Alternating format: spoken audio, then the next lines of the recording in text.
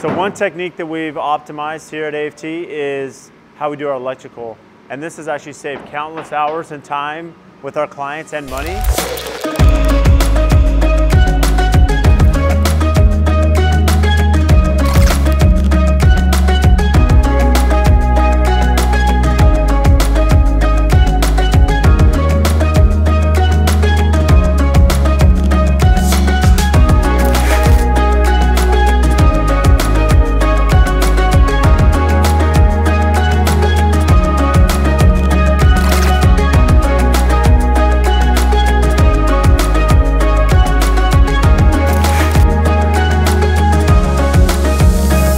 So we're out here at rough stage, and one of the uh, schedule items that we've optimized on our projects is how we do the electrical. One of the most important things, this is something that we practiced back when I was an electrician when I grew up with my dad and uncles. So you'll see here that we haven't pulled any wires, so everything's boxed.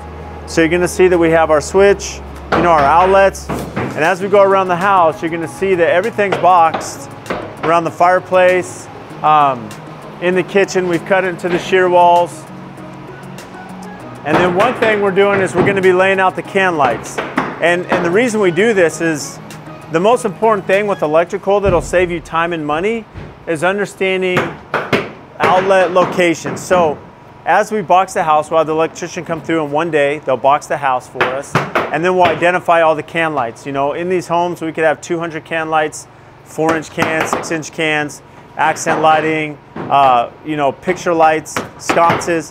So what ends up happening, we box the house, we bring in the designer, we bring in the clients, and we do a walk. And now we, we, uh, we walk through the design book, we walk through backsplashes so we understand the backsplash details, um, if we're doing plug mold or not. We look at all the furnishings, so now we know furniture layouts. We know, for example, this is the office, right, as we've noted here on the floor. So this is the office. So we're gonna sit here and understand, okay, how is our client using this space? Where does the outlet need to be? Where is he putting furniture? Where's the TV gonna go? And then it's really easy for our electrician. We do understand that there's code and we have certain spacing with code, but if the client says, hey, I want the outlet here or up here as opposed to where it is per plan, it's easy. We can pop this off, hammer it in.